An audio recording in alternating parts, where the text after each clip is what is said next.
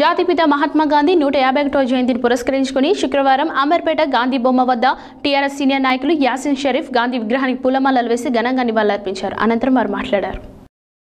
జాతిపిత మహాత్మా గాంధీ నూట యాభై ఒకటో జయంతిని పురస్కరించుకొని శుక్రవారం అంబర్పేట్ గాంధీ బొమ్మ వద్ద టీఆర్ఎస్ సీనియర్ నాయకులు యాసిన్ షరీఫ్ గాంధీ విగ్రహానికి పూలమాలలు వేసి ఘనంగా నివాళులర్పించారు.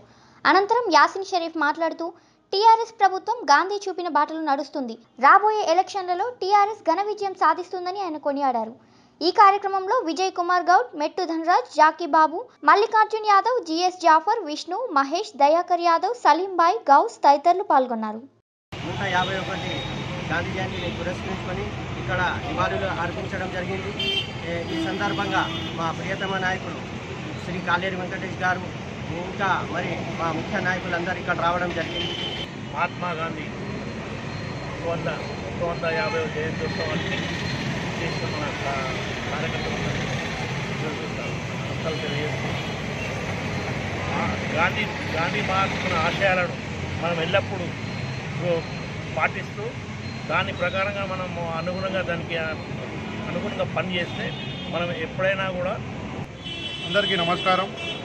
ఇలా గాంధీ జయంతి సందర్భంగా నూట యాభై జయంతి సందర్భంగా ఇక్కడ మన గాంధీ భవన్ దగ్గర నివాళులు అర్పించడం జరిగింది.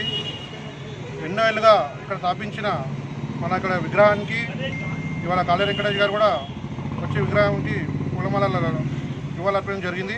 కార్పొరేటర్లు అందరూ మా కార్యకర్తలు కూడా ధన్యవాదాలు చెప్తున్నారు గాంధీ గారి నూట యాభై ఒకటవ జయంతి సందర్భంగా ఇక్కడలో అంబర్పేట్ నియోజకవర్గంలో అందరు కలిసి ఇవాళ అర్పించడం జరిగింది. ఈ కార్యక్రమానికి మన శాసనసభ్యులు కాలేరు వెంకటేష్ గారు మరియు వివిధ డివిజన్ల కార్పొరేటర్లు మరియు ముఖ్య నాయకులు అందరూ హాజరై ఈ యొక్క కార్యక్రమాన్ని విజయవంతం చేశారు.